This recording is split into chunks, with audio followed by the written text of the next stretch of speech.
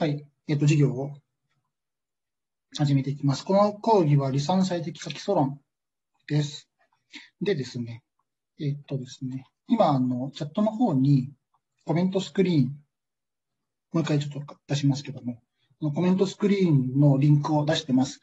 えっ、と、クラスルームの方にもあの見ていただければあるんですけども、それであの今あの、あの、ジェスチャーとか出していただいてますけども、あのコメント、あの皆さんあの書いていただくと、この画面の右から左に流れます。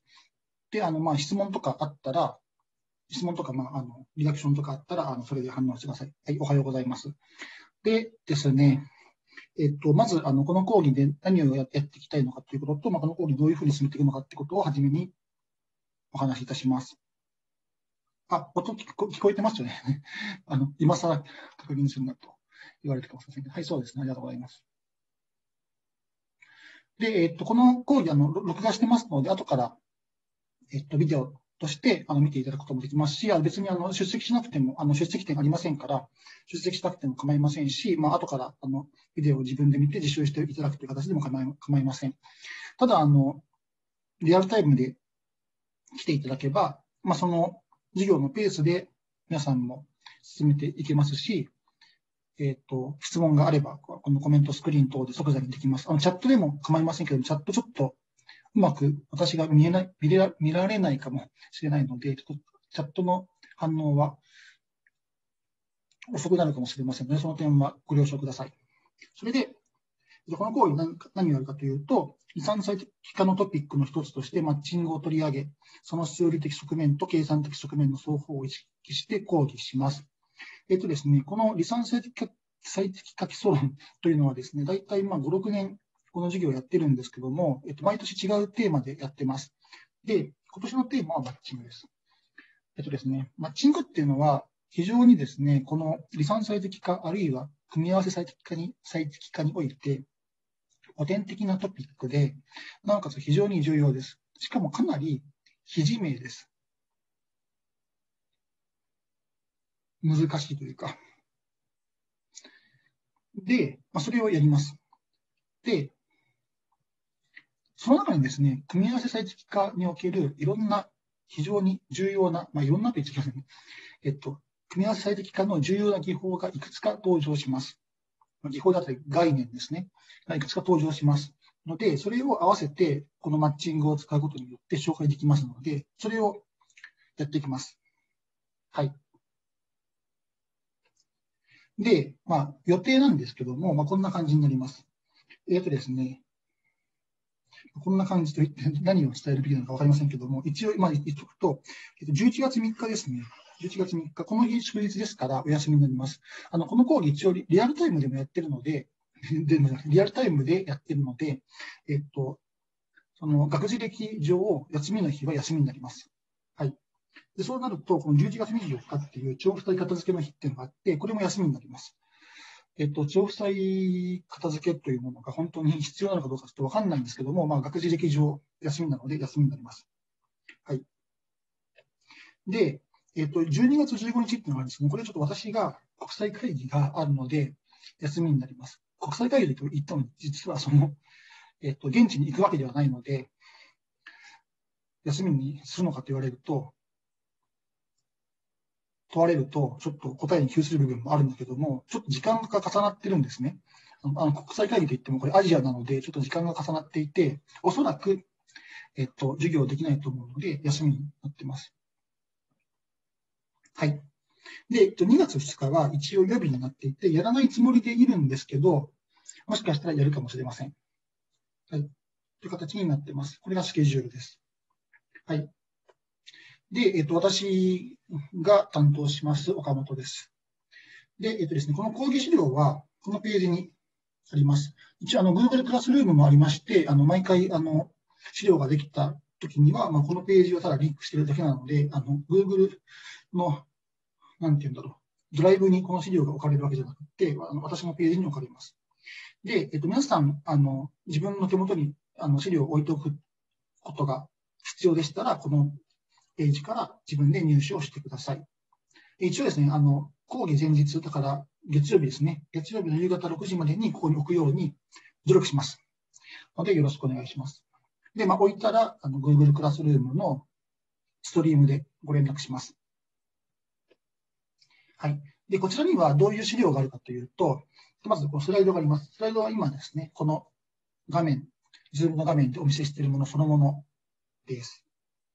と、それ以外に印刷用スライドっていうのがあります。もし皆さん、あの手元に印刷したものを置いておきたいというふうに思うならば、えっと、この8枚のスライドを1ページに収めたものを用意してますので、まあ、それを印刷していただければ、紙の節約になるかなと思いますので、そのようにしてください。あ印刷するかしないかは皆さんの自由です。はい。それでですね、えっと、どういうふうに講義を進めるのかというと、まあ、これ90分、90分の講義なので、まあ、初め85分ぐらい、まあ、5分残して、えっと、講義をしようと思ってます。で、あの質問がある場合は、あの今皆さん使っていただいているコメントスクリーンで行っていただくのが今一番やりやすいかなと思いますし、あのチャットでも構いません。はい。授業中の質問ですね。についてはそれでお願いします。で、えっと、5分残ってるんですけども、5分の開始の時にコメントを Google フォームで提出してください。コメントっていうのは、まあ、授業の感想とか質問とか要望とか、まあ、雑談でも何でもいいです。ので、あの、これを必ずお願いします。あの必ずって言ってます。後であのちゃんと言います。何が必ずか。で、えっと、これはあの出席を取ってるわけではなくて、えっと、どうしよう。出席を取ってるわけではないんですね。だけども皆さんに、えっと、こういうふうなフィードバックいただくのは私のあの講義というか、まあ、授業を良くするためには重要なのでよろしくお願いします。で、いただいたコメントに対しては、私が必ず回答します。それは攻撃ページに掲載しますので、まあ、それを見て、皆さんからの質問や感想に対して、ちゃんと私からもお答えするという形にします。で、これで、まあ、この双方向性をちゃんと持つということにしたいと思います。えっと、このコメントはですね、この、あの、リアルタイムで受ける人しか一応できないというか、えっと、期限があります。これあの Google フォームで作ってるんですけども、えっと、毎回この講義が終わった後、お昼の1時までしか受け付けないように設定していて、今日初めてやってるので、ちゃんとできるかどうかできるかどうかわかんないんですが、一応1時までになってますので、まあ、あの、授業が終わったらすぐにこのコメント書いていただくというふうにしていただければありがたいです。はい。で、オフィスアワー、質問などがある場合は、ちょっとあの、決まった時間を今のところ設けられていないので、アポイントメント、まあ、メールなどで連絡を取っていただいて、まあ、その後、ズームで1対1であるとか、あるいはそのメールにそのまま質問内容を書いていただくとかっていう形でも構いません。よろしくお願いします。で、この授業の評価なんですけども、2回のレポートのみで行います。のみっていうのは重要で、つまり例えば皆さんこのあの授業にリアルタイムで出席するとか、動画を見るとか、えっと、先ほどのそのコメントを提出するとかってことをしても、それは何をやっても0点です。0点です。それは点数になりません。で、点数になるのはこの2回のレポートのみです。で、レポートは1と2があって、両方とも50点満点です。で、その50点満点の、えっ、と、レポートを2回提出して100点満点の成績がつきます。これのみでつきます。ですか？で、この点数がそのまま成績になります。ので、その点は注意してください。で、えっ、と、レポート1については、えっ、と、要項を説明するのが8日で、提出締め切りは12月23日。これも、あの、一応これ決めてます。で、レポート2の方も同じような、あの、のが決まっていて、説明っていうのは、どちらも授業中でに説明するという意味ではなく、説明文が掲示されます。えっと、講義ウェブページ、あるいは Google クラスルームに、という意味で説明が行われます。ですか？で、そこには、そのレポートの問題と、レポートの提出形式とか、レポートのその実施形式ですね、どのようにしてやってほしいかとかってことも書いてありますので、それに従ってやってください。で、1個注意があって、2月10日を提出締め切りにしてるんですけども、えっと、博士前期課程2年、2年の人は、もしかしたらレポート提出締め切りが変わるかもしれません。それは、えっと、成績報告期限が、その終了予定の人に対してはちょっと早いからです。で、その場合も、えっと、えっと、このレポート2の要項説明で、そういうことがある場合には説明をします。ので、ちょっとその点は注意をしてください。えっと、いわゆる M2 の人、終了予定の人ですね。お願いします。で、えっと、この講義は教科書ないんですけども、まあ、あのいろんな参考書があって、えっと、その参考書の内容を、あのー、とか、その研究論文の内容を、まあ、いろんなところから引っ張ってきて、この講義自体は構成されるという形になります。ので、えっと、そういうものだと思ってください。はい。そうですね。ここまでよろしいでしょうか？何か分かんなかったところとか聞いておきたいこととかってありますか？もういきなりここから講義が始まりますが。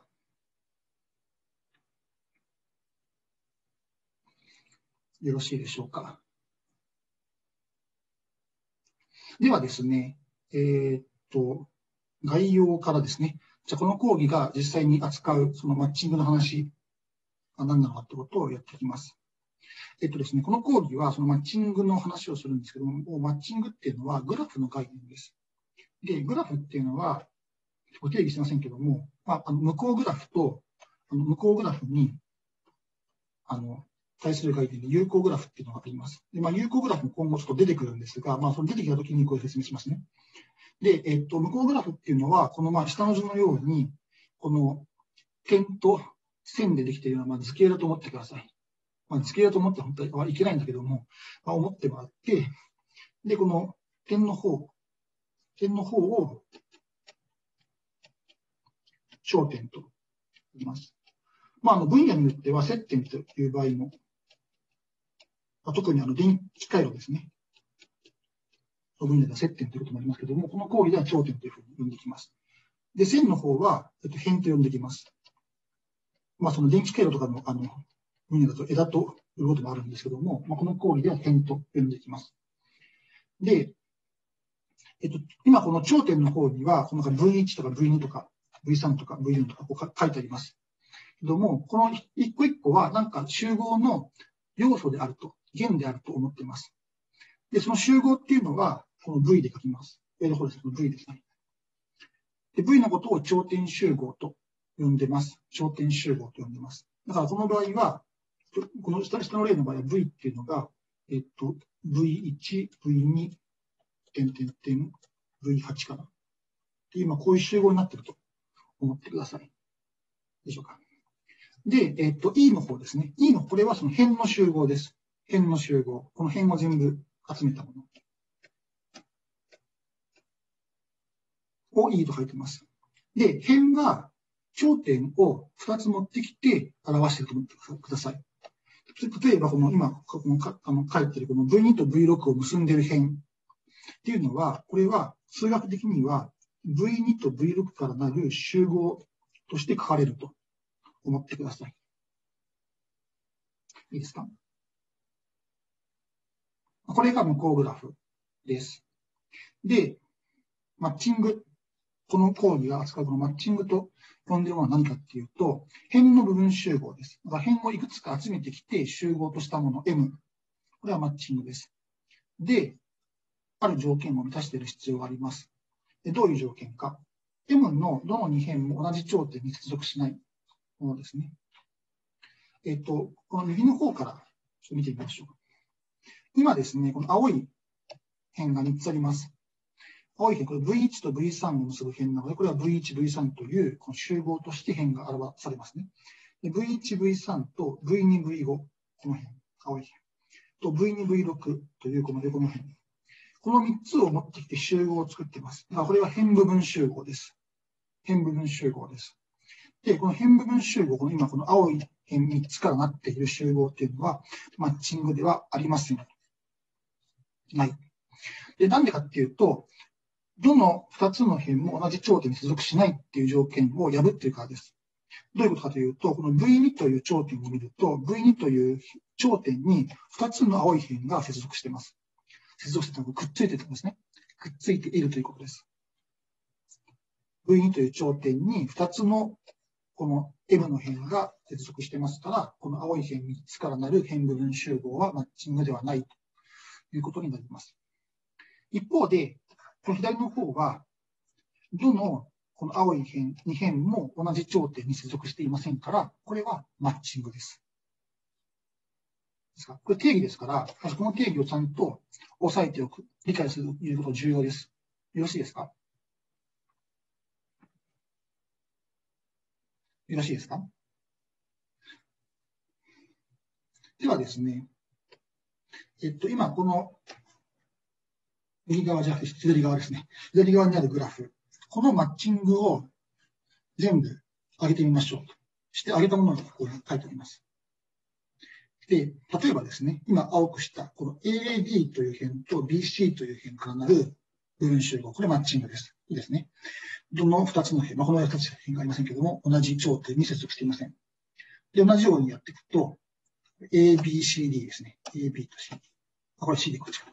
CD。これもマッチングです。いいですか？で、一つの辺だけ CD とかですね。BC とか AD とか AC とか AB。これもマッチングです。で、空集合ですね。空集合。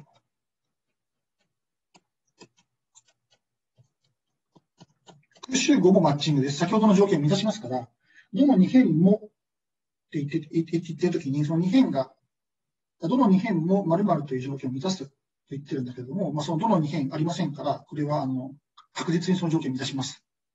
いいですか？だから空集合もマッチングです。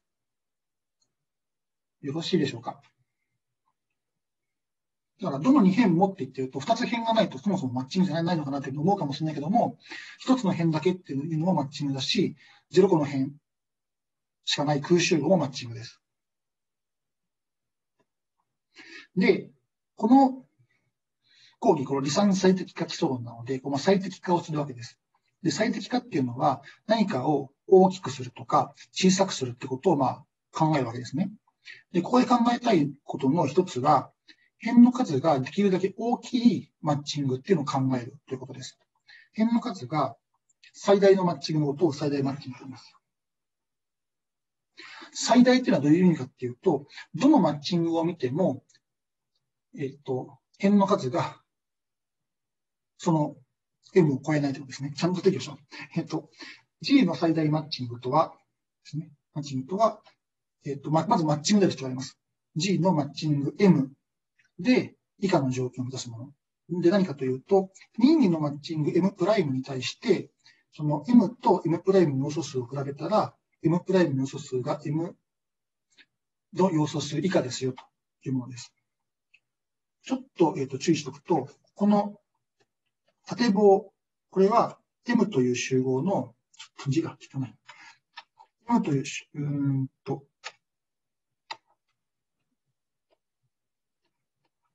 M という集合の要素数を表します。ちょっと漢字が、集合の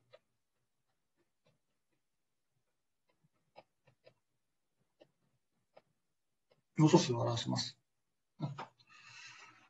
このこの縦棒ですね。縦棒は要素数を表して、これ M の要素数と呼びます。M の要素数とか、M のサイズということになりますね。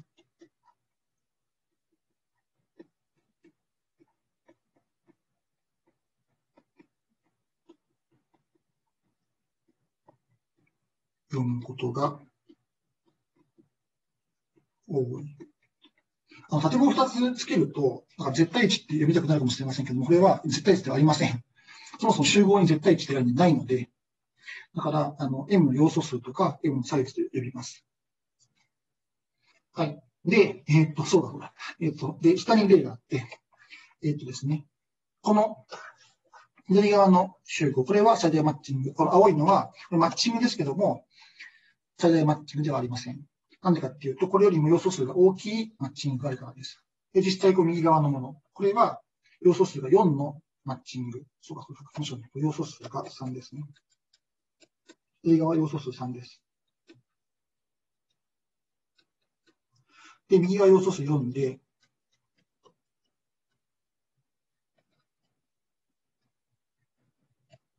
右側は最大マッチングです。ですか？なんでかっていうと、任意のマッチング持ってきても、この右側のマッチングよりも予想数が大きなマッチングが、ま、マッチングにマッチングになれないからです。この定義を理解することが重要ですね。その一番大きいマッチングっていうのは、まあ、直感的な言い方なんだけども、一番大きいっていうのは何なんだろうっていうと、この要素数を比べてるんだっていうことをちゃんと押さえておいてください。で、あの、押さえておくとか、その、まあ、理解するっていうふうによく言うんだけども、あの、それは、あの、この定義をですね、覚えるとかそういう意味ではなくて、あの、忘れてもいいです。あの、というか、あの、忘れてください。どんどん。あの、覚えなくちゃいけないことはたくさんあるんで、あの、こんな、こんなこと言っちゃいけませんけども、こんなこと覚えてる暇は我々ないので、覚えなくても、あの、忘れたら調べて確認できればそれで十分です。よろしいですか？だから、あの、忘れていいので、忘れたときに、最大マッチで何だったかなと定義をちゃんと調べて思い出せるようにしてください。で、重要なのは、ちゃんと定義を、あの、なんだろう、思い出すというか、その、思い出せるようにしておく。調べてですね、調べて思い出せるようにしておくということです。定義に基づいていろいろと考えるということが重要なので、そういうこという、あの、姿勢を心がけてください。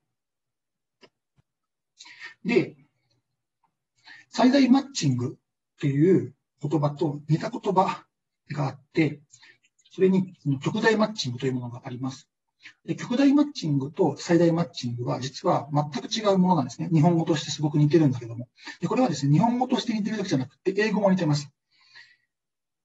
英語で極大マッチングは、マキシマルマッチングと言います。マキシマルですね。で、一方で、じゃあ、あの、最大マッチング何だったかというと、戻ると1ページ。戻れなかった。戻ると、これマキシマム。マッチングです。で、この2つは、英語も似てるし、日本語も似てるんだけども、定義がまず全然違います。全然違います。で、あの、定義が違うだけじゃなくって、えっと、実態も違います。ので、注意してください。じゃあ、その極大マッチングって何なのかっていうと、えっと、まあ、それはマッチングです。マッチングです。で、任意の辺、M に入ってない任意の辺ですね、E。に対して、M に E を付け加えたもの。M ユニオン E。これが G のマッチングではないもの。つまり、M 以外の辺を付け加えて、マッチングにできないもののことを極大マッチングと言います。で、じゃあまず第一歩から見ましょう。今この青い辺3つあります。この3つの辺からなる、これはマッチングなんですけども、辺部分集合、これマッチングなんですけども、このマッチングは極大マッチングではありません。なぜでしょうつまり、ここの条件を満たさないわけです。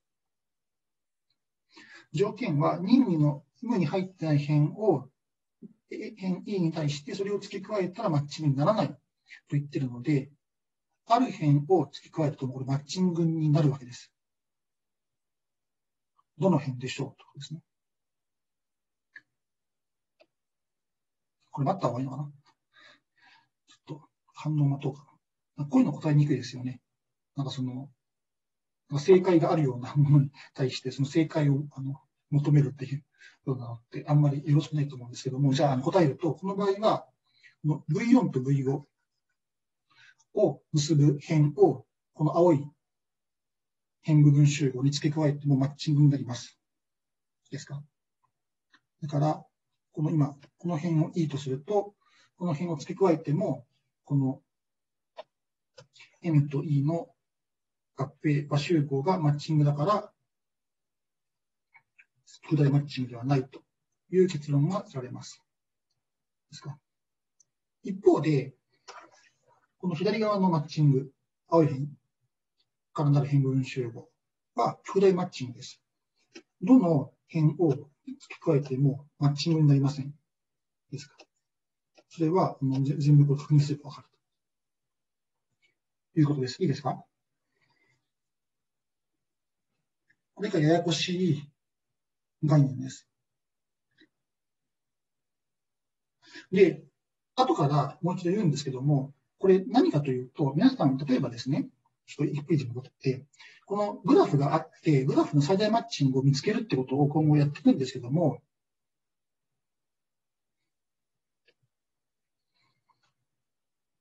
まあ、じゃこれは、えっと、その時に間違えて巨大マッチングを見つけてしまうってことがあります。で、後で言うんですけども、極大マッチングは、今今から言います。今から言うんですけども、極大マッチングは最大マッチングであるとは限りません。これ重要です。で、なんでかっていうと、今この左のマッチング、これ極大マッチングです。極大マッチングです。で、極大マッチングなんだけども、これ要素数が3です。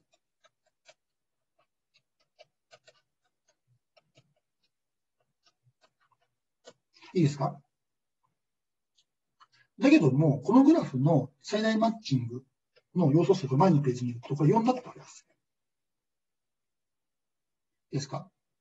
だから、この最大マッチングの定義によると、先ほどの次のページの極大マッチングの左側のもの、これは要素数が3だから、この極大マッチングよりも要素数が大きなマッチングが存在するわけです。から、この左側の極大マッチングは最大マッチングではありません。よって、ちょっとちゃんと書こうかな。このマッチングは、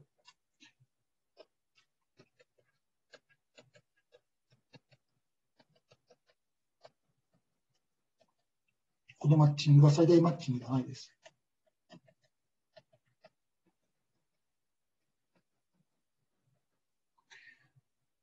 いいですか？このマッチングってどのマッチングかわかんないけども、えっと、このマッチングですね。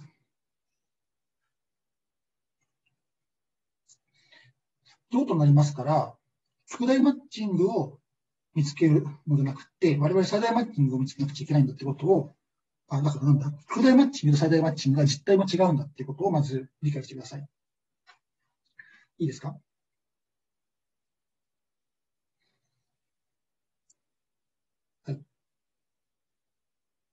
でですね、えー、っと、30分ぐらい今授業やってきたんですけども、私ですね、あの、こんなペースで喋ってるとすぐ疲れてしまって、あの、力が持たないので、えー、っと、ここで休憩をしたいんですね。ちょっと2分ぐらい休憩をしようと思うので、ちょっと待って、2分ぐらい休憩していいのかな？あ、えっ、ー、と、すみません。まだちょっと休憩に早かったので、あと、えっ、ー、と、2、3ページ進んだら休憩をします。だから皆さん今疲れてるなと思ったら2、3、2、3ページ後に休憩が来るんだと思って、見てください。で、えっと、似た概念、関連する概念に完全マッチングっていうのがあります。で、これはちょっと重要な概念で、今後もよく出てくるんですけども、完全マッチング。えっと、これどういうものかというと、任意の頂点に M の辺が接続しているようなマッチングです。どの頂点を見ても、そこから青い辺が出てるっていうのは完全マッチングです。だから右のマッチングは、例えばこの V3 を見ると、V3 に接続する青い辺がないので、これは完全マッチングではありません。ですか完全マッチングは英語でパーフェクトマッチングと言います。で、これは完全マッチングです。はい。左側は完全マッチングです。あんまり早いても言葉が届かないことありますので、すいません。いいですか？今そのマッチングっていうものの中に最大マッチングっていうのと極大マッチングっていうのと完全マッチングっていうのがあるという話をしました。で、えっ、ー、と、観察があります。完全マッチングは必ず最大マッチングです。完全マッチングっていうのは、この全ての頂点にこの青い辺で接続してますから、これよりも要素数が大きなマッチング存在しません。だから、最大マッチングを見つけるっていう時に、完全マッチングが見つかる場合があります。で完全マッチングが見つかったら、それは最大マッチングです。これ1番ですね。2番。最大マッチングは必ず極大マッチングです。なんでかっていうと、最大マッチングが極大マッチングじゃなかったとすると、極大マッチングじゃないとすると、辺を付け加えられるわけです。ちょっと書こうかな？右の方の略称。ますね。M が極大マッチングではないと仮定しますね。そうすると、定義から、ですね、定義から、定義から、ある、その、M に入ってない点が存在して、M に E を付け加えたものも、マッチングになります。これ、楽勝じゃなくて、証明になっちゃうな。で、そうすると、M とにこの E を付け加えたものの要素数は、M の要素数よりも大きいので、なのではなくて、口ではのでだけども、書くときはなので、なので、M は最大マッチングではないということになります。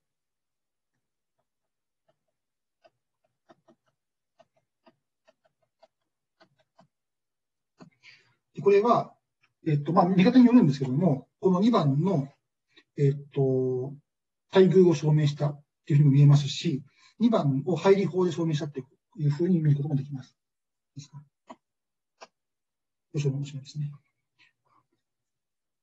だから、えっと、最大マッチングは必ず極大マッチングになります。気分としては、完全マッチングならば最大マッチング。で、そうならば極大マッチング。そういうふうになるわけです。気分じゃないんです。で、中があって、えっと、完全マッチングが必ず存在するとは限りません。今、ここに見せてるグラフは、完全マッチング持つグラフなんですけども、えっと、完全マッチング持たないグラフっていうのもあります。で、一方で、最大マッチングと極大マッチングが必ず存在します。それはまあ、定義上、そうだとわかります。そうだとわかるちょっとあんまり説明してないですね。わかるので、えっとまあ、我々我々が対象とするのはこの最大マッチングを見つけるっていう問題になります。最終的に。はい。で、そうですね。えっ、ー、と、じゃあここで切りがいいので、さっき言ったみたいにちょっと2分ぐらい休憩します。で、えっ、と、タイマーを出すので、タイマー、タイマー。これはタイマーじゃなかった。えっ、と、これです、タイマーですね。えっ、と、タイマー出すので、えっ、と、じゃあ 2, 2分間休憩して、えっ、と、2分経ったらまた再開します。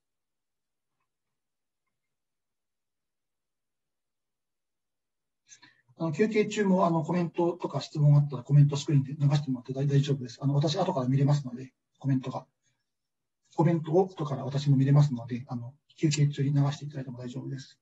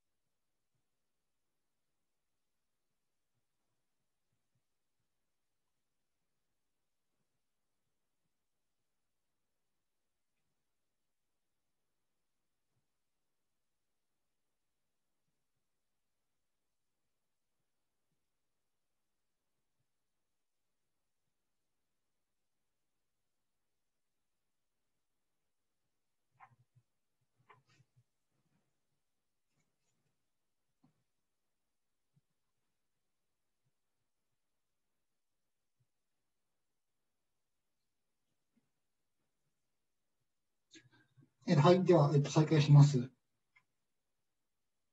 ろしいですか？えっとですね、じゃあ、あの、この講義が対象とする問題は何なのかってことを言います。えっとですね、やるのは、さっきも言って言っていたように、最大マッチングを見つけるという問題です。何かというと、向こうグラフが与えられたときに、その最大マッチングを一つ見つけるという問題です。あこれは例ですね。今ここでは頂点数8の問題、問題が入力例を与えてますけども、まあ、これはどんなグラフでもよくって、どんだけ辺を持っていても良いような場合を考えるということですね。まあ、特に理論的な解析を行ってきます。理論的な解析っていうのは、まず正しく最大マッチングを見つけるってことを達成するということが重要です。あと、それをできるだけ早く行うということですね。まあ、できるだけ早くっていうのは、実は割とその議論するのは難しいんですけども、まあ、とりあえず、正しく見つけるってことを考えます。で、正しく見つけるだけだったら、与えられる向こうグラフっていうのは有限のデータ、有限のデータなので、いくらでも時間をかけて良いんだったら、まあ、見つかるわけです、最大マッチング。で、そのいくらでも時間をかけて良いというところから、どれぐらい時間を避けられるのかってことをちゃんと考えるっていうのが肝になります。で、もう一つあります。何かっていうと、最小費用完全マッチング問題です。これは完全マッチングを見つけるという問題になります。で、どういうものかっていうと、えっと、向こうグラフが与えられるんだけども、その辺の上に皮膚費用関数っていうのも与えられます。そのまあ関数、これは C と書いてますね。今後、この C が W になる可能性もありますけども、まあ、これは C と書いてます。あの費用はあのコストなので C と書いてます。で、この R っていうのは実数全体の集合ですね。ちょっとこれ見えないかな？これ書いてあって。見えないか？ら、ちょっと場所を変えます。コスト、えっ、ー、と、どうすればいいんだろう？今見えないから、この C が、これが、まあこれ、コストを表すというつもりであって、R っていうのは、実数全体の集合。あの、なんとか全体の集合っていう言い方をよくするんですけど、それは、そのなんとかを全部集めてきて作った集合という意味です。だからこれ実数全体の集合っていうのは、実数をすべて集めてきて作った集合っていう意味ですね。これ時間大丈夫かな？えっと、あの、例えば、あの、英語で書くと、the set of real numbers ですね。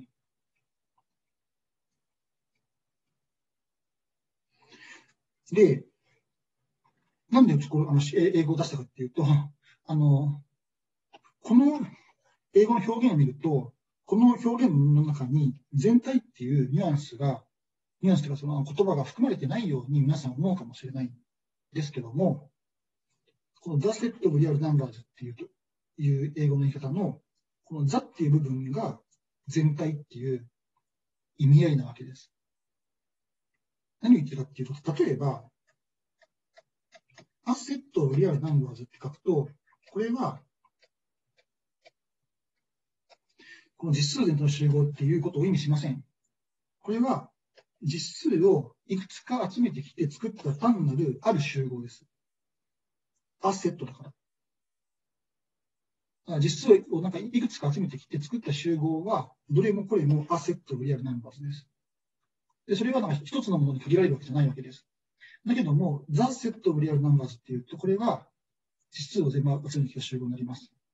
ので、こういうそのちょっとしたあの表現の違いというか、あのニュアンスの違いで意味することが全然変わってくるので、それは注意してください。で、下の方は簡単に聞きますね。言ってることわかります？か？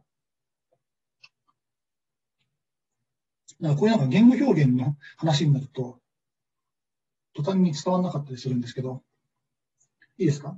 だから皆さん、その英語を書くときとか、英語の文を読むときとか、あるいはその、英語を日本語に直すときとか、えっと、日本語を正しく理解するときとか、まあ、いろんなところで、あの、いろんな注意が必要なので、あの、気をつけてください。で、これが入力です。すいません。なんか何の話をしてたんだろう。これは入力で、G の完全マッチングで変費用が最小のもの。を一つ出力するっていうのが、最小費用完全マッチング問題です。まずこの完全マッチングを出力するっていうところが重要です。で、先ほど言った通り、完全マッチングは、この向こうグラフによっては存在しない場合があるわけです。で存在しない場合には存在しないと出力します。出力してほしいという問題です。で、この下の例はどういう意味合いかっていうと、例えば、今この V2 と V3 を結んでいる辺のところに2と書いてありますけども、これは費用として、あ、ちょっとしまった、間違えてしまった。費用として、この V2 と V3 を結ぶ辺が費用として2を持つということを意味していると思ってください。まあ、こういう書き方を今後する可能性があります。まあ、この下の1っていうのは C の V3、V4 が1だということですね。で、このグラフの場合は、このグラフ完全マッチングを持ちまして、えっ、ー、と、費用が、あ、で、もう一個言ったんですね。これは皮膚、費用を皮膚にします。負の費用があることを考えることもあるんですけども、それはちょっとここではやめときます。やめることになると思います。はい。で、えっと、この例の場合には、えっと、実際、これですね。この V3、V4 という辺と V2、V1 という辺を選ぶと、この費用の和は、この場合は、費用の和は2たす1で3になります。ですか？で、これ、あの他にも、えっと、完全マッチング、このグラフが持ちまして、その費用の和は3を上回ります。例えば、これ、ちょっとレーザーポイントだった。えー、っと、例えば、えー、っと、どうしよう、これ。えー、っと、例えば、えっと、この V1、V2、じゃないや、全然違います。V2、V3。V2、V3 っていう辺と V1、V4 っていう辺を持ってくると、これ完全マッチングなんですけども、これは費用和は、ちょっと字が汚すぎるな。これ後でビデオで残ると思うとあんまり汚い字を書くのはよろしくないんですけども、まあ、費用和は、えー、と2プラス3で取り込んだんですね。で、5と3比べると3の方が小さい。あ、もう一個あって、これやりましょう。もう一個あるから。えっ、と、もう一個あって、例えば、色が、えっ、と、例えば、じゃなくて、えっ、と、もう一個ある完全マッチングは V1、V3 と V2、V4 ですね。で、これは、費用は、あ、用っていう感じの書き順が違うような気がするんですけど、大丈夫ですかね。なんか、不安になってきたな。えっ、と、費用は は費用はは1たす3で4ですね。さあ、3つマッチングが、完全マッチングがあるんですけども、費用が一番小さいのは、ここので示している青い完全マッチングになります。よろしいですか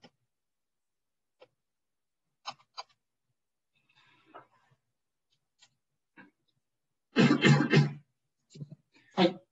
で、この2つの問題を考えます。で、その中でも、そのグラフが、まあ、これ、あの、次回で言いますけども、二部グラフと呼ばれているグラフである場合と、まあ、そうであるとは限らない、まあ、そうである場合と、そうであるとは限らない場合のことを一般グラフということにしますけども、一般グラフであるかによって、問題の性質が割と異なります。割とって何なのかっていうと、ちょっとそれは今後、えっと、話していくんですけど、割と異なります。で、この矢印があるんだけども、これはま基本的に、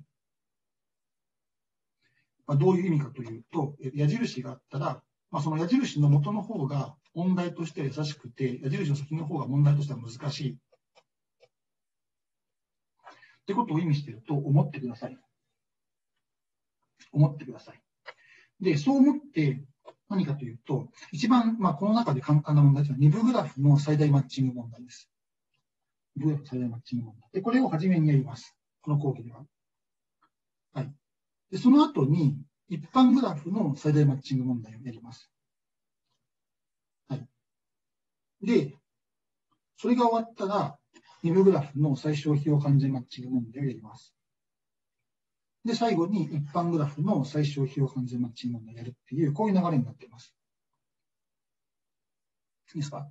で、基本的には、この今書いた線の左側っていうのは、その辺に費用がない問題です。で、変に費用がない問題は、この右側に書いてある変に費用がある問題に比べて簡単です。まあ、そういう流れになっています。で、2部グラフと一般グラフは、まあ、2部グラフの方が特殊なグラフを扱っているから簡単になるんですけども、その簡単さっていうのはどういう簡単さなのかってことをちゃんと理解するっていうのも重要です。重要です。で、その、その理解のポイントっていうのは実はいくつかあるんだけども、その前にいくつかの中のいくつか、たくさんあるんだけども、たくさんと言っても私が知ってるのはいくつかだから、いくつかですね。いくつかあるんだけども、そのいくつかの中の数個、またその中のいくつかを紹介するっていうのがこの講義の話になります。で、この講義で行う最終的な話はこれです。これら4つの問題はどれも多項式時間で解けます。だから簡単難しいと言ってるんだけども、どれも多項式時間、つまり効率よく解ける問題であるという事実があります。で、それが何でなのそうなるのかってことを話します。で、それを、まあ、簡単な方から順番にやっていくということになります。で、なんでマッチングを扱うのかってことの ポイントにもなるんですけども、重要な考え方が、この4つの話の中には隠れています。まず1つは、最適化における最大最小定義というものです。これが、この4つの話の中に流れています。で、これは、この4つの話の中に流れているだけではなくて、組み合わせ最適化組み合わせ最適化問題と呼ばれるものの中で、効率よく解けるもの、多項式時間で解けるものの中には、大体この最大最小定義というものがあります。で、別に言いすると、この最大最小定義という定義があるから解けます。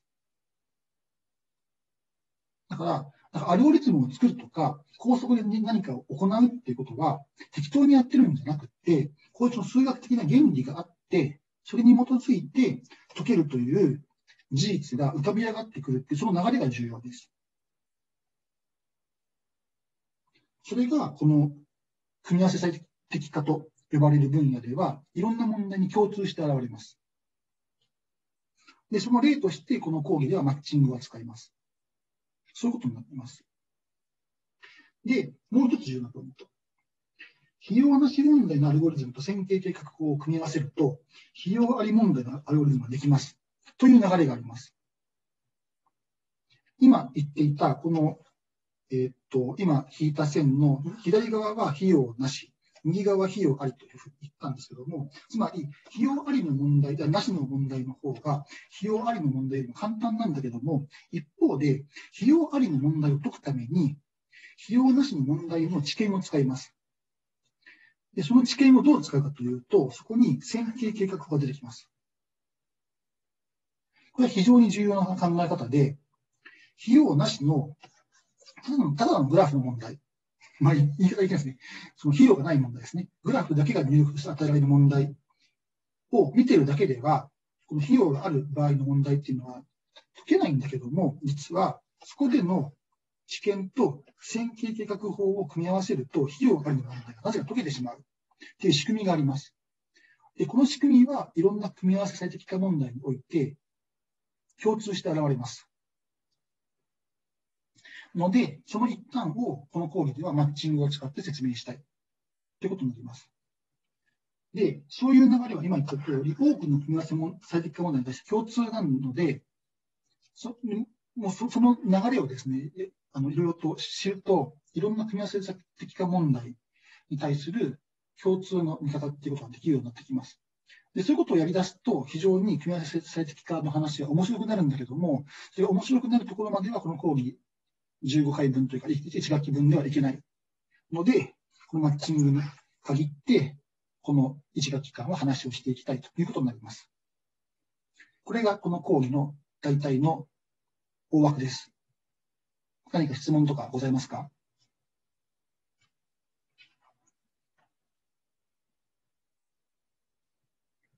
今ですね、この多くの組み合わせ最適化問題に対して共通というふうに言ったんだけども、これは多くの組み合わせ最適化問題に対して共通であるだけであって、すべての組み合わせ最適化問題において共通であるわけではないです。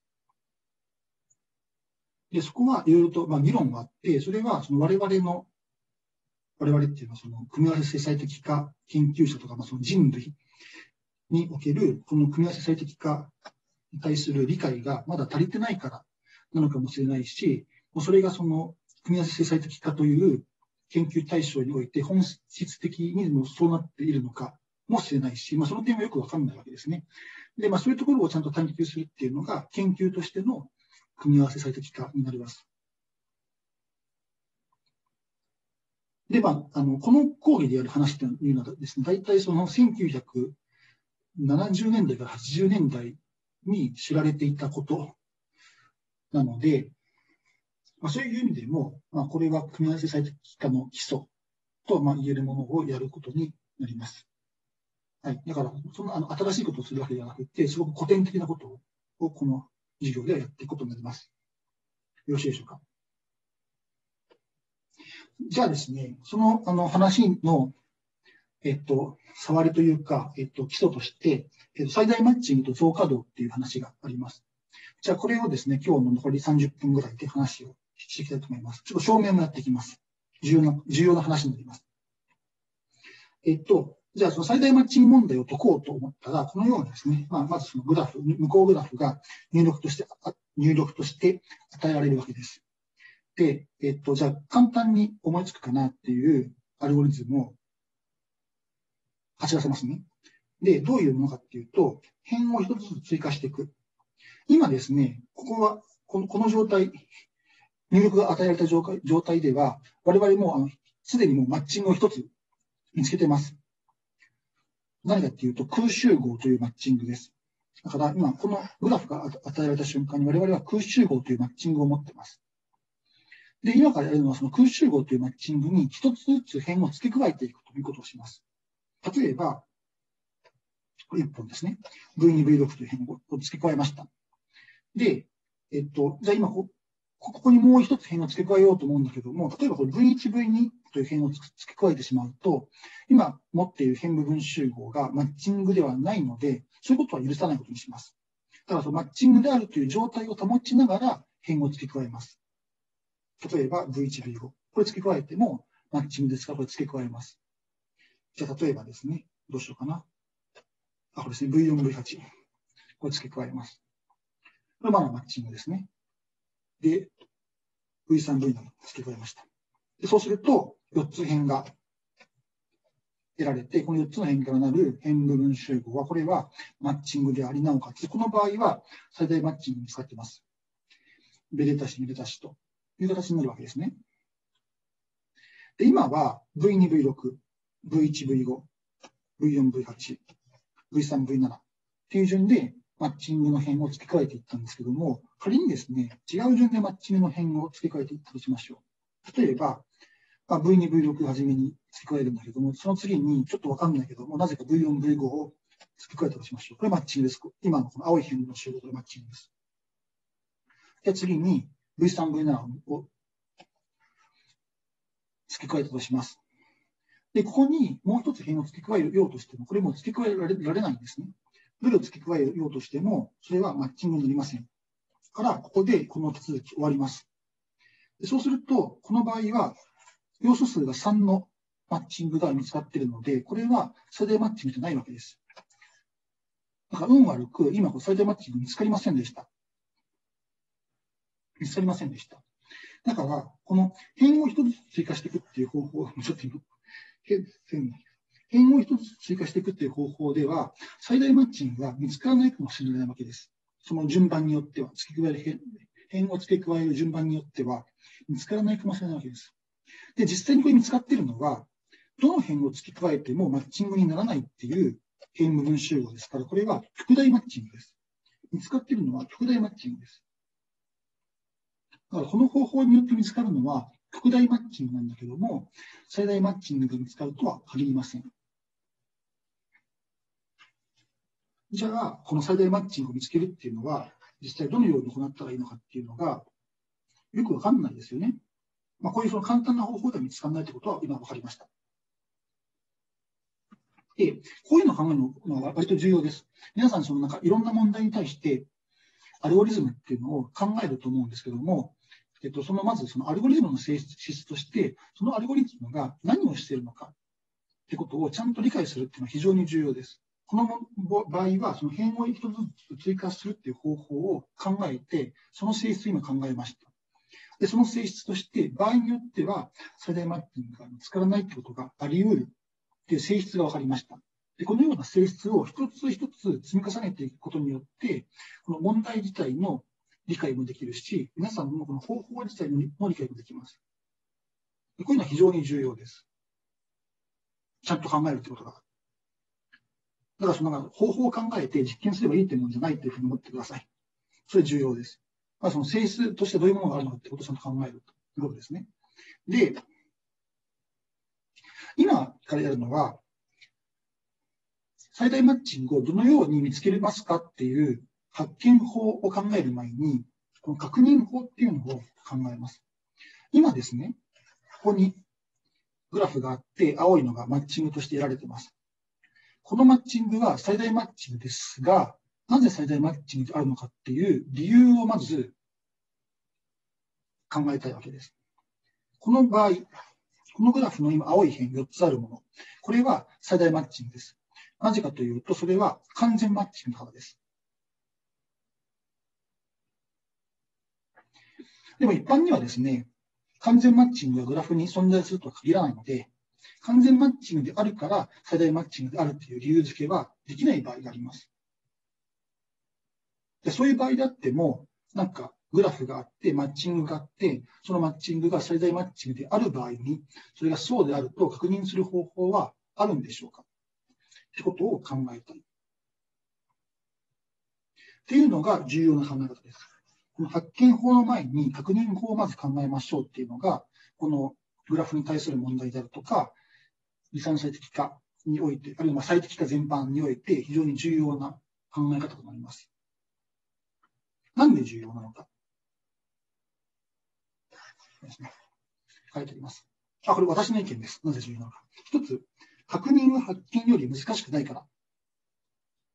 今、最大マッチングの発見法を考えたいと言ってるんだけども、発見ができてるんだったら、そもそもその発見法、その発見アルゴリズムを動かして終了したときには、最大マッチングが得られていて、それは最大であるってことを確認できてるはずなわけです。だから、発見法が分かってるんだったら、その中で確認法もなんか動いてることが見て取れます。だから、発見法を考えるよりも、確認法を考える方が難しくないんじゃないかっていうふうにまず思います。だから、まず確認法を考えましょう。ということです。で、二つ目。確認法を考えることによって、発見法が導かれることがあります。まあ、ここでは道筋が見えると書いてますけども、だから、いきなり発見法を考えるんじゃなくて、確認法を考えることによって、そこから発見法を作っていきましょう。ってことが、その方針として挙げられます。ので、ここではそれをやってみたい。ということになります。で、今から何をやるかっていうと、この最大性の確認法を一つ紹介します。で、それは、ここに書いてある増加度を用いる方法です。で、これが今後、重要な役割を果たします。特にあのこの行為の前半、この行為のその1学期間の前半の部分では非常に重要な役割を果たします。ここまでいいですか？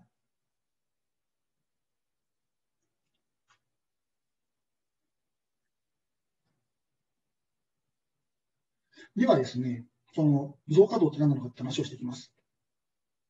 増加度を定義する前に、まず交互度という、これちょっと書いとこうかな。あ、交互度。あ、見えなかった。えっ、と、すみません。えっと、見える色で書いてない。見える色は黄色かな。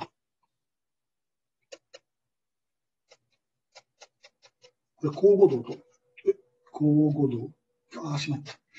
交互度と読みますけども、えっと、交互度とは何かというと、えっと、交互度を定義するためには、えっと、そのグラフとマッチングがまずあります。でそのマッチング M に関する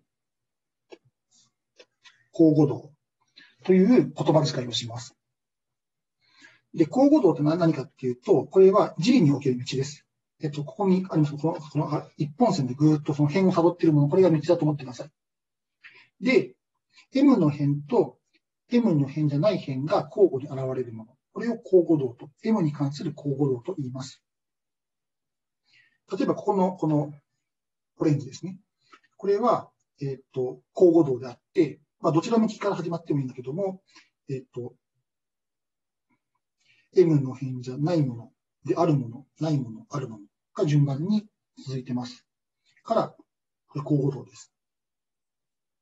交互動、交互動じゃない例を挙げてみると、例えば、えっー、じゃあ V7 から始まって、V7、V3、V1、こういう、こういうものですね。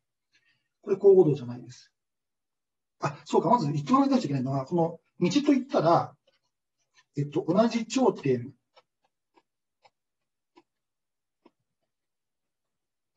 同じ円を2度以上通ってはいけない。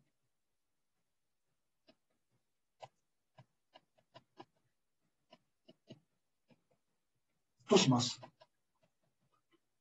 だから、例えば、あの、V7 から始めて V3、V1、どうしよう。ちょっと待って、ちょっと今考えながらやったらいいね。あ、そう、じゃあ V8 から始め、じゃあ V、うんと、待ってくださいね。ですか、えー、っと、うまい例が作れないな。そうか、えっと、V8 からだって V4、V5、V7、V3、V1、V5、V2、こういうやつですね。これは、例えばこれこれ V5 を2回通ってますから、これは道じゃないと思ってください。いいですか？で、この、あの、ピンクの V7、V3、V1、V2、V5、V4、これは道です。同じ頂点も同じ辺も通ってないから。だけども、えっ、ー、と、この V7、V3 から V3、V1、これがその、えっ、ー、と、M の辺を交互に通ってないので、これ交互動ではない。これは、M に関する、ちょっと字が汚いな。M に関する交互動ではない。どうとなります？よろしいですかいいですか？で、M に関する交互動の中で特殊な性質を持つものを増加動と言います。書いたことな？増加動。増加動と言います。どういうものかっていうと、もう今言った通り、まず M に関する交互動である必要があって、なおかつ、その両端点が M の辺と接続しないもののことを言います。今ここに書いてある V3、V7、V4、V8。これですね。これはまず、これ、これまずこれ交互動です。ね。M の辺ではないもの、あるもの、ないものを取ってますから。だけども、V8 という焦点は M の辺、青い辺に接続してます。から、そのため、ここに書いてある条件を満たしません。だから、このオレンジの1は、青のマッチに関する増加動では、あ、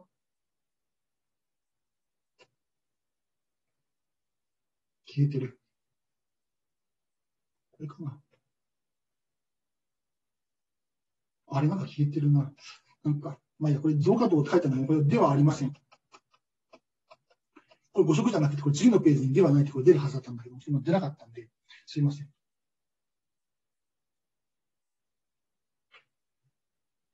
なんで繋がったんだ？違う。はい、えっと、ではないです。この場合はね。で、えっと、一方ですね、これあの別の交互度を持ってきています。V3、V7、V4、V5。交互度です。あ、交互度ですね。交互度ですね。で、これに対しては、V3 というこの、えっと、この道の端点と V5 というこの道の端点に青い辺が接続してませんから、この交互度は M に関する増加度です。である。こちらしいです。増加度ある。いいですか？増加度なんだろういいですか？この黒、青、黒となっていれば必ず増加度になるわけではないので注意してください。いいですか？この端点が青い辺に接続してないということです。例えばその V1、V2、V6。ちょっと待ってください。これはちょっと例が悪いな。例、うまい例を。まあいいや。いいですか？この、これが定義、定義です。定義です。はい。いいでしょうか？定義はわかりますか？でで、さっきも言った通り、この定義は覚えるも、覚えるものじゃなくて、あの、忘れたときに、あの、調べて思い出せればいいです。いいですか？あの、覚えようと思わないでください。はい。で、この増加等が重要な役割を果たします。なぜか。今ですね、ここにグラフがあって、青い辺が今マッチングになってます。これ辺の数3、要素数3のマッチングです。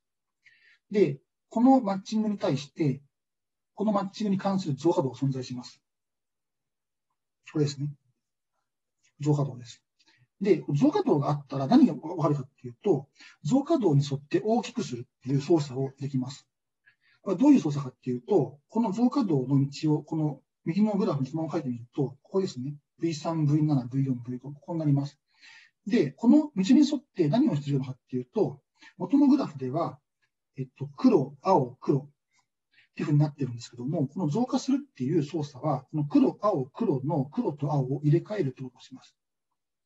入れ替えると、青、黒、青になります。でそうすると、このグラフでは、なぜかわかんないけども、辺の数が1個多い4であるようなマッチングが得られています。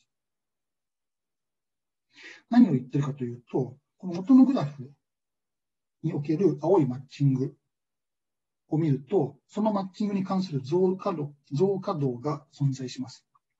増加度が存在すると、それに沿って大きくすることによって、元のマッチングよりも要素数が一つだけ大きいマッチングが作れます。つまり、増加度が存在しているってことは、今考えていたこの左側のマッチングが最大マッチングではないってことがわかる。ちょっと日本語変だったら無理です。増加度があることから、左側のマッチングが最大マッチングではないということがわかります。これは増加度の存在によって、マッチングが最大マッチングではないことが確認できるってことを表しているわけです。それと同時に、この増加度に、増加度に沿ってマッチングを大きくすることによって、より大きなマッチング、大きくその要素数が大きなマッチングも見つけられます。という2つのいい点をこの増加度は持っていると思います。これは、この例だから成り立っているのではなくて、実はいろんなグラフでも成り立ちます。ということをまず見ます。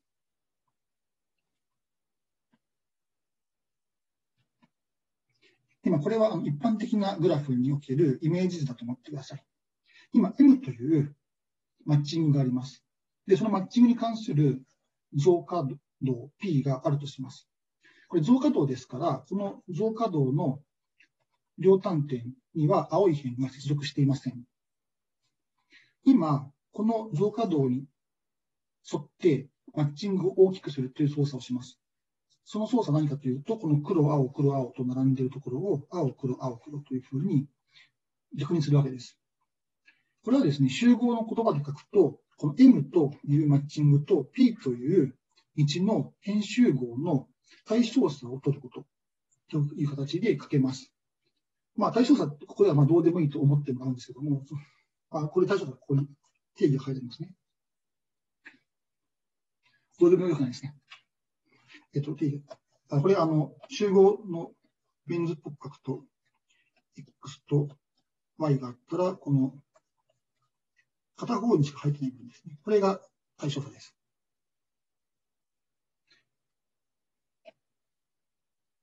ね、この両方に入っている部分っていうのは対象差からは外れます。片方だけに入っている部分が入ってきます。この、このグラフの外側にある M の辺もそのまま残ってます。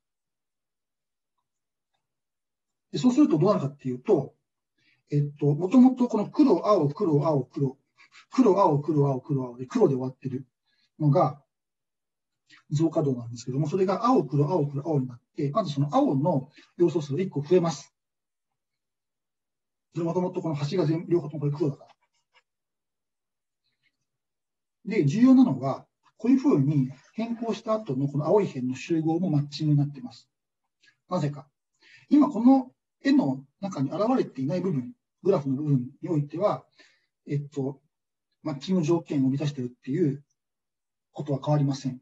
だからこの、もともとのこの P のところに現れている部分だけがこの編集語変わってますから、それだけ確認します。でそうすると、もともとですね、この P という、えっと、道の端点ではない頂点、この中の方の頂点ですね。中の方の頂点には必ず青い辺が一つ接続してました。それはその P に現れている辺です。それは黒、青、黒、ある、青って順番に現れていることからわかります。で、その状況は、この黒、青をひっくり返しても、この中の頂点一個一個に青い辺が一つずつ接続しているっていう状況は変わりません。だからそのところではマッチングであるという条件は目指されたままになっています。一方で、元のこの P という道の端点だった頂点を見ると、元の M においては、一つも M の辺が接続していませんでした。なぜかというと、この P は増加度だからです。一方で、増やした後、増加した後の方では、この端点にはちょうど1個ずつ辺が接続することになります。これはこの増加させるという、大きくするという操作によってそうなることがわかります。つまり、元々の P の端点だった頂点には、増加の後には、M の辺がちょうど一つだけ、M が青い辺がちょうど一つだけ接続することになります。つまり、その端点においても、マッチングという条件は満たされているとということになります。つまり、グラフ全体において M の辺はマッチングになっているということになります。つまり、この M と P の対象差という編集号もマッチングであり、なおかつ元の M というマッチングよりも要素数が一つだけ大きいものになるということになります。ここまでいいですか？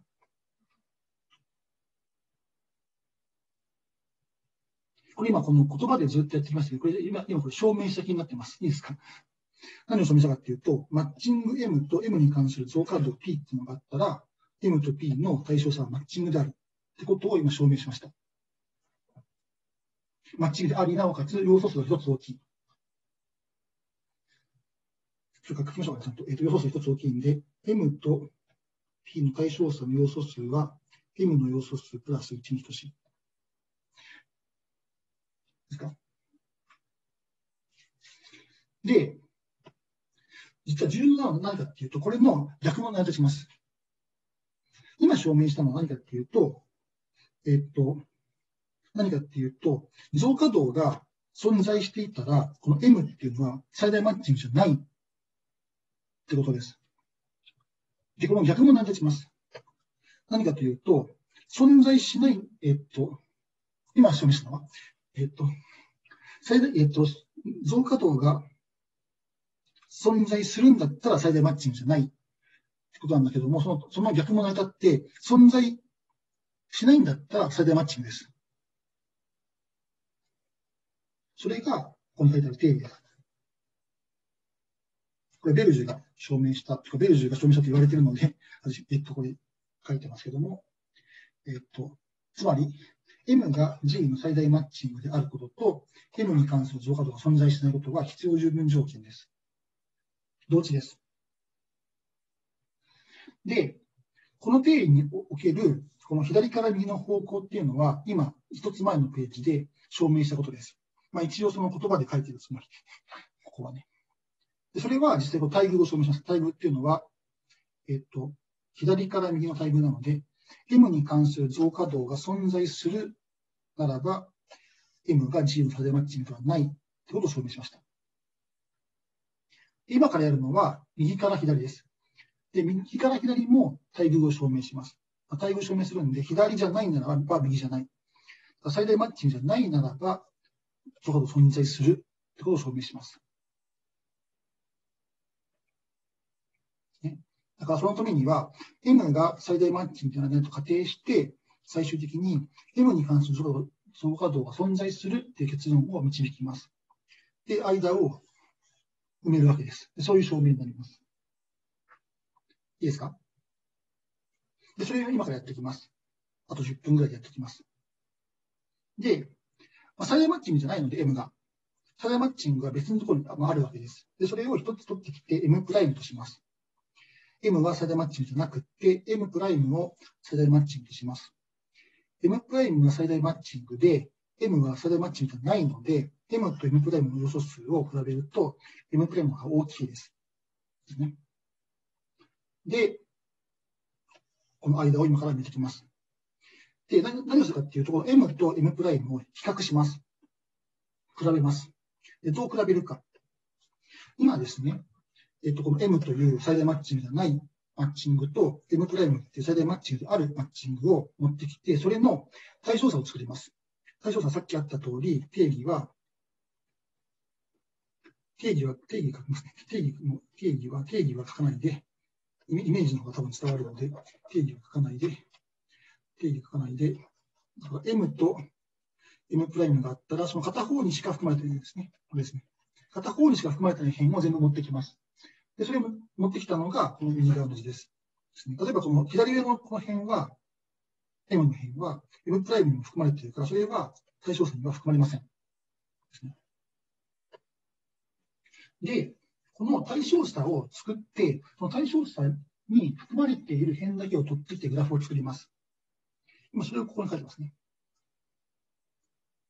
でその状況はこれです。で、そうすると、いろんなことがわかります。何かというと、各頂点の実数は0か1か2です。実数っていうのは何かっていう、頂点の実数って何かっていうと、その頂点に接続する辺の数です。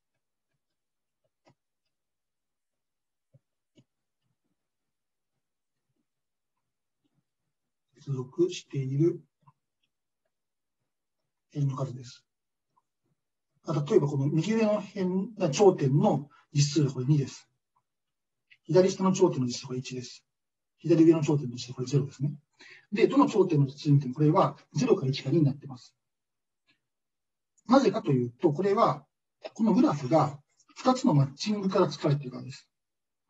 だからどの頂点を見ても、そこに接続している辺というのは、青か赤なわけです。で、青が2つはないですし、赤は2つもないわけです。だけども、赤1つとか、青1つとか、どちらもないってことはあり得ます。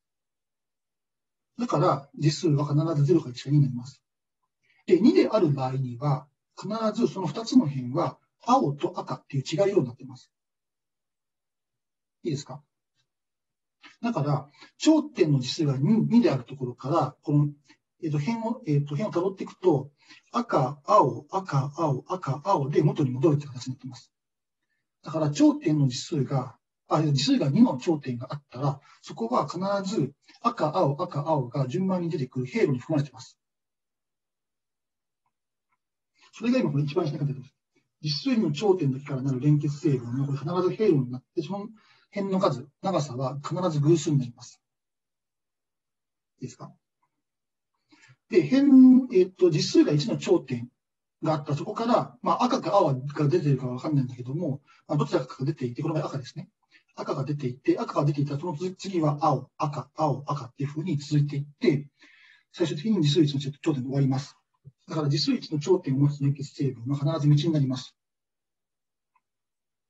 実数0の頂点は、これは一つだけで連結成分を作るので、これは孤立点と呼ばれるものになります。いいですか？だから、この対象差から作られるグラフは、孤立点と道と長さが偶数の経路からできていることがわかります。ここまでですか？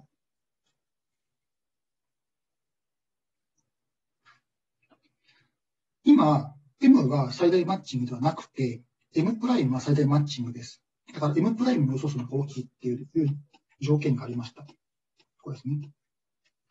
で、これを考えると何がわかるかっていうと、今ですね、この偶数帳の経路の中には赤い辺と青い辺が同じ数だけ含まれるわけです。で、この道は赤と青の辺が交互に出てくるんですけども、M プライムの要素数の方が M の方よりも大きいので、必ずどこか一つの道の辺の数を見ると赤の方が多くなっているってことがわかります。いいですか？ちょっとこの書き方が悪いから、この書き方変えますね。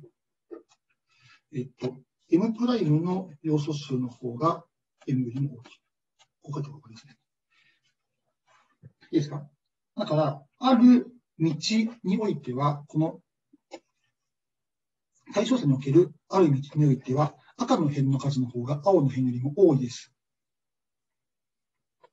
それを文章として書いたこれですね。偶数長比例においては、M の辺の数と M プライムの辺の数同じなので、ある道において、M の辺の数は M プライムの辺の数よりも大きくなります。この道が M に関する増加度です。この道。この道、今、M の上に書いてみると、こうなってますね。こうなってますね。で、これは M に関する増加度です。なんでかっていうと、この端点だったところの頂点には青い辺が接続してません。なんでかっていうと、これはもともとこの、えっ、ー、と、対象差の道の端点だったから。だから、この道は M に関する増加度です。つまり、M が、なんだ最大マッチンじゃなければ、M に関する増加度がこのようにして作れます。存在するとわかります。証明終わりです。質問ありますか？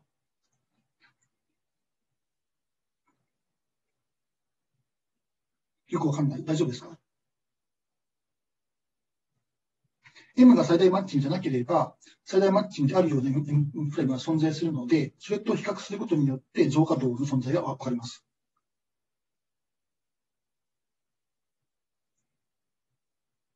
いいですか？いいですか？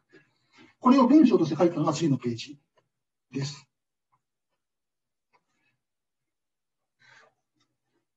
まあ、文章として書くことが一応、あの、証明としては習わしなので、書いてますけども、えっと、先ほどのその図で説明したことが全部です。アイデアとしては。よろしいですか？もう一度定理を言うと、定理、定理なかった。もう一度定理を言うと、定理が出てくるかな。定理を言うと、定理だ定理がどれだろうか。定理はこれですね。定理を言うとこれですね。M が最大マッチングであることと、M の最大に関することが存在しないことが必要十分条件です。だから、増加度が存在しなければ、それは最大マッチングであることの証拠になりますし、そ存在すれば最大マッチングではないことの証拠になります。いいですか？